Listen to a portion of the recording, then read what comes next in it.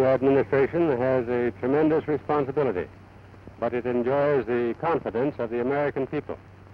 Roosevelt's Secretary of the Navy, Senator Claude A. Swanson of Virginia, headed the U.S. delegation to the Geneva Arms Parley and has been very active on naval affairs in Congress.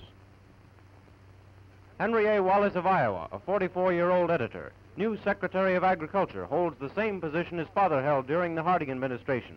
His selection was hailed by the farmers. Director of the Budget, Douglas. The task which the President-elect has asked me to assume and which I have agreed to attempt is to formulate a plan for balancing the federal budget.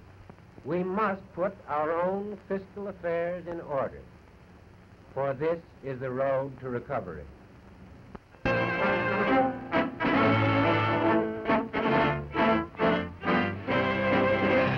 Secretary of Commerce Roper. I esteem it a great privilege to be permitted to cooperate with Governor Franklin D. Roosevelt as a member of his cabinet in serving the American people in these critical times. Harold Ickes, Secretary of Interior. No greater honor could be offered to any man than such an opportunity to serve the American people under his inspiring leadership.